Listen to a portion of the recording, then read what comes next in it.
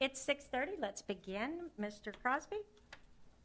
Yes, Madam Mayor, members of the council, we have uh, several items I'd like to discuss with you this evening, but, uh, oh, uh, it's an update of an emergency basis, uh, which is not on here.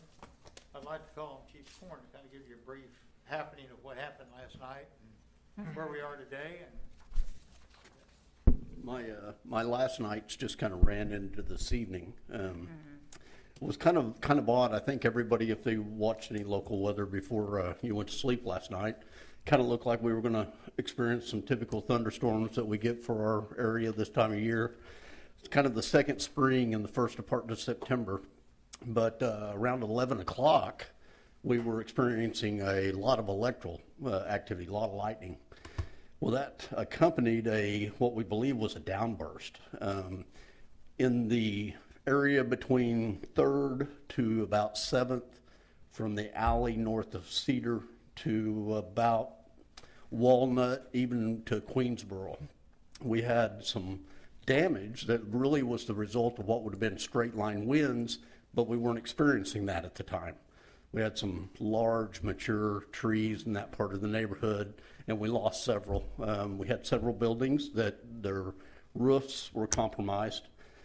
So we spent most of the morning, once the sun came up, uh, starting to do damage assessment, really figure out uh, what had been affected, what businesses were affected, and we got most of that done today, along with doing inspections on all our city property.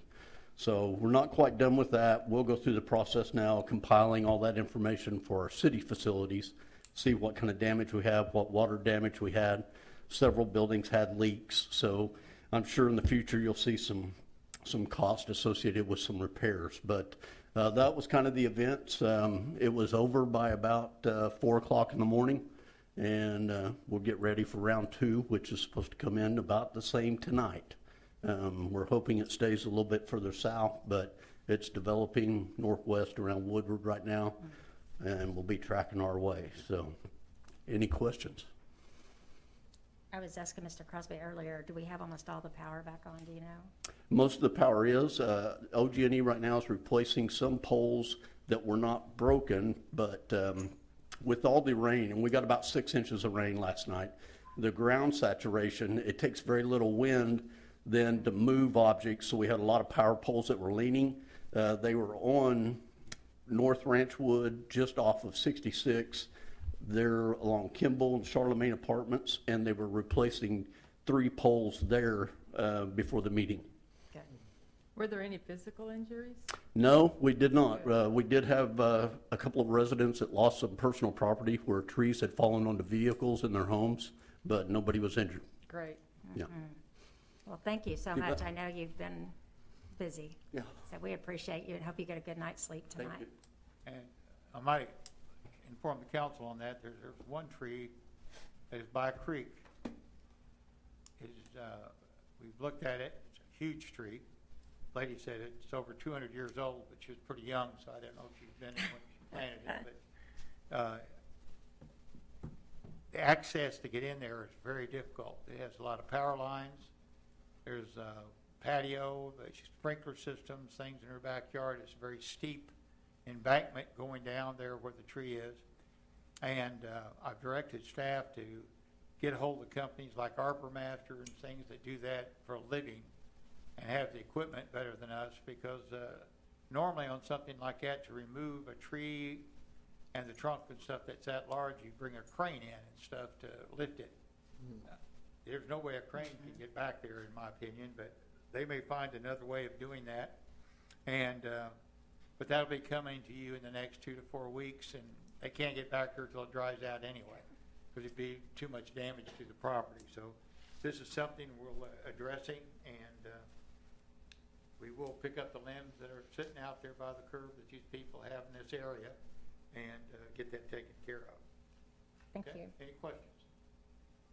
All right, moving forward, uh, we have an item on the agenda. Uh, Dana Deckard brought forward a uh, proposal because this is our 25th anniversary of Christmas in the Park. And she and Tammy are always looking for something different and upbeat to do. And we've talked about this in the past, to having an ice skating rink. Well, uh, she contacted an individual that does this, and uh, he has a proposal, and it's on your agenda tonight to come forward to do. And uh, we have met with him and talked about how to set up and what we could do. Uh, He pays for all the setup, he pays for uh, the staff to operate it, and uh, the charges, and then uh, we can audit, of course, anything he does. And uh, the, I think he gets ninety-something thousand dollars, and the first belonged to him for operation to cover his costs, set up equipment, everything. And after that, uh, we get a percentage of the profit. Uh, The, last year, in checking on one of the places he operated, uh, he made about, about sixty percent more than that. So it'll kind of give you the kind of deal, but it, again, this is not a cost to the city, which is something that we do furnish the electrical and water. And other than that, uh, he's there. And so uh, this is something we're looking at doing, and it's on your agenda this evening. Just kind of want to, like, tell you where it came from and a little bit about the history in, in regards to that. I think that's a wonderful thing, and the idea that downtown has such a draw, that'll be a real draw to Yukon, and something Well, great for our Big citizens. draw River's been, and uh, Mhm. we're looking, think it'd be a very exciting time for us and something uh, really nice to add. Um, Talking about our capital projects, uh, we keep getting questions around Frisco Road, but the uh, mobilization on Frisco uh, Road will be on, start September the 8th. From my understanding, they'll be moving forward in about, a- about a week, 10 days after that, they will actually start construction on that. Uh, Vandament will be shut down going south. I mean, not Vandament, but Frisco at Vandament will be shut down. And uh, it'll also be shut, closed at 10th Street. And they'll be working with Oklahoma City on a detour route for those individuals that are there. And uh, hopefully, the project will move rather quickly. And it's a pretty good company, and we, uh, state will be operating this and doing the inspections. Uh, um, some of the dirt that'll come and, uh, on the fill on the north side will be coming across some, uh, property that, uh, off Vandament. And we'll be working with these individuals to make sure they don't damage our street or replace that section that they drive across with those dirt trucks. Because we want to protect our property and Right. make sure that that's clear. Those of you that go out Highway 4 can see the status of that project. It's moving forward rather quickly and uh, going great. Uh, We're very pleased with that. They've uh, trimmed uh, some of the dirt work they brought in on the north, and they're getting ready to to do some more paving up there and and get that ready. The bridge, they poured concrete, you've been out, and uh, that project is ahead of schedule and and moving forward rather quickly. Uh, On Highway 4, on Phase 2, uh, there is an item for discussion this evening on that, but right now, we've, uh, as of today, we've got all of our easements but one, and that is the gentleman we'll be talking about. Uh, Just because this evening, uh, we can still move forward on this. Uh, We, Judge Miller discussed this with him today, and uh, allegedly, we think we're very close to an agreement with a minor change, but we'll see on the easement description, but we'll see how that goes forward. If you look at 11th Street, uh, the paving is finished. Uh, We'll have to go and readdress the uh, little side, they fixed the, the side part when, after they've done the paving, because we had some washout with this big rain we had. And uh, we'll come back and get that fixed, but the problem you get on that is now that it's fixed, uh, people drive pretty fast. And uh, we hope people will keep that in mind, that there's a speed limit out there. And, uh, you know, once you get some of these roads, that you don't think, I can't drive 20 miles an hour on it, and then you fix it and they're going 50. So it's wide open. Uh, Like I say, there's no houses really in the area, and uh, people drive the speed they think is safe for conditions. And uh, we need to remind them this area is- is something that we have to watch and, you know, keep it down. Um, The uh, Other projects we have going, we have some minor drainage projects we're going. We have one on uh, Meadow Run, um, where there was a blockage in the drainage channel. That was cut out today to make sure there's no repeat of those people having some flooding in their uh, garages and also in their storm shelters. Uh, We had some over by the high school, that has been corrected today. And uh, if we have a big rain tonight, that'll certainly assist that area in, in moving forward. Um, But our capital projects, like I say, they, uh, right now, they're going quite well. Uh, we still have one main bill coming in on Frisco Road. Uh, we think that'll be submitted to us in the next ten days, and we'll bring that to the council at our next meeting for payment. And, uh, once we kind of tie some of that up, we'll be able to come back to the council to talk about how much money is left in the accounts, and if you have other projects that uh, can go forward. Uh, Gentleman was gonna start on the, uh, the drainage project on Eleventh Street, but I think uh, that's gonna have to be put off for a little bit till that water, you know, succeeds and he can get in there and start work on it. Other than that, Madam Mayor, we're doing quite good, and I'd be answering any question you all might have. President. Anyone have any questions? I have questions on this stuff, though. On Oh, uh-huh, On the fire, can we discuss that? The fire truck?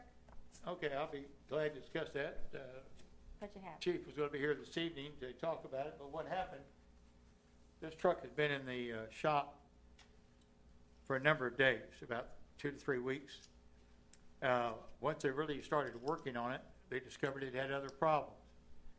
Uh, The estimated repair cost, you all have the bid with you, is thirty-four thousand, three hundred and thirty-five dollars and five cents. Uh, And the chief has stated it's their frontline engine response out of Station One and we rely on our reserve engine, and uh, it's a 1994 model, and its age and mileage is not intended to be used for the first, first response. They could start work immediately on this and be complete in approximately 10 days. However, it's not on the agenda.